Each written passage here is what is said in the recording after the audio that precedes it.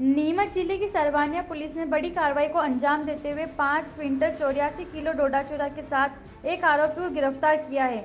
मिली जानकारी के अनुसार शुक्रवार रात चौकी पुलिस ने रासू रोड पर एक पिकअप से पाँच क्विंटल चौरासी किलो डोडा चूरा जब्त कर ड्राइवर को गिरफ़्तार किया।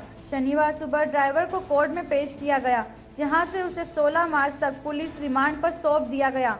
पुलिस ने बताया कि मुखबिर से सूचना पर रासू रोड स्थित कलेपुर फंटे पर नाकाबंदी की चेकिंग के दौरान पिकअप की तलाशी ली, जिसमें कट्टों में भरा पाँच क्विंटल चौरासी किलो डोडा चूरा जब्त किया गया। आरोपी ड्राइवर थाना राम जाट निवासी बाड़मेर के खिलाफ एनडीपीएस एक्ट में मामला दर्ज किया गया है।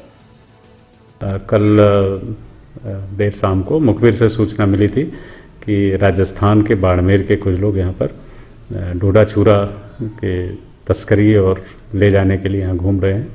उस सूचना पे पुलिस ने नाकेबंदी की थी। उस नाकेबंदी में एक पिकअप गाड़ी आती हुई दिखे, जिसको रोका गया और उसको जब पकड़ा गया तो उसमें एक थाना राम नाम का व्यक्ति बैठा था, जो मूलतः बाड़मेर का रहने वाला है।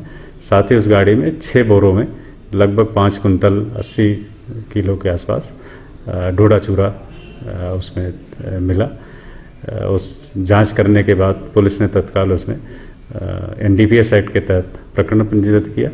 पूछताछ में ये भी पता चला कि पुष्कर बावड़ी नाम का सरवानिया का रहने वाला नया गाँव क्षेत्र का एक स्थानीय व्यक्ति है, जिसने इस डोडा चूरा को उनको पहुँचाने में सहयोग दिया और उसी के द्वारा ये डोडा चूरा दिया गया था।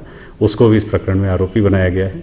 साथ ही बाड़मेर का एक व्यक्ति की और जानकारी मिली है जो इसको ले जाने के लिए साथ में था, उस व्यक्ति को भी इस प्रकरण में आरोपी बनाया गया है। पुलिस ने तीनों आरोपियों को जो मूल आरोपी है, उसको गिरफ़्तार किया है।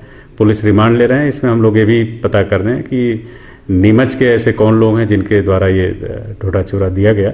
साथ ही बाड़मेर में इसकी खपत करने वाले और बड़े ऐसे कौन से लोग हैं जो यहाँ पर संपर्क में हैं। ये पूरा हम तकनीकी रूप से भी और यहाँ जो स्थानीय हमारे पूछताछ है, उस दोनों तरीकों से हम इसमें जो मुख्य आरोपी हैं, उनकी तह तक जाएँगे और उनके खिलाफ सख्त कार्रवाई करेंगे। नीमच से मुश्ताक अली शाह की रिपोर्ट।